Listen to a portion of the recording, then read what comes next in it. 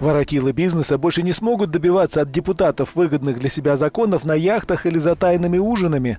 Европарламент потребовал от председателей своих комитетов и рядовых членов, участвующих в составлении докладов, письменно раскрывать подробности любых своих встреч с лоббистами. Такую инициативу приветствовали в Брюсселе сторонники гласности.